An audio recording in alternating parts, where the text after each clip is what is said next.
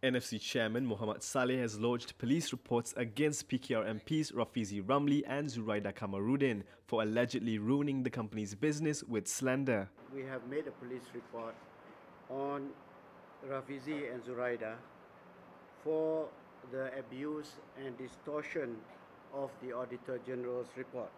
Salleh says the statements made by the opposition MPs has seriously affected the company. The government then froze the account once uh, the government froze the account, we couldn't import, we couldn't operate, and and uh, we the, once you don't have your money, there's nothing you can do, because the continuous slander is almost convincing if you listen at one go, and if you we can show you after this one of the slander that uh, the Rafizi have made.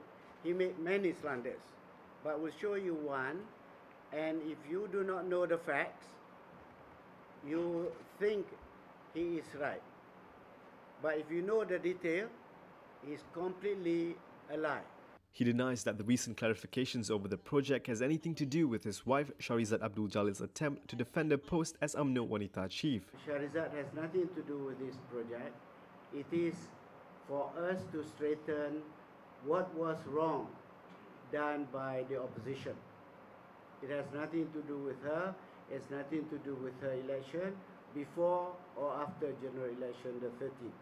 Salleh also says they only took this long to act because he was advised by his lawyers to hold off until the hype surrounding the matter subsided. When, when uh, the attack was made, the police respond very fast.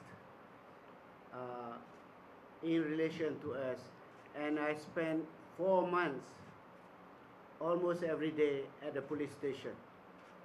And so it has taken us a lot of time during that time. But by the time I was charged I was told it is better to consolidate all the information and take one step at a time. The National Feedlot Centre project, which used to be run by the National Feedlot Corporation, is expected to be taken over by a joint venture between a Malaysian company and a Japanese food giant. Prasad Michael, Kini TV.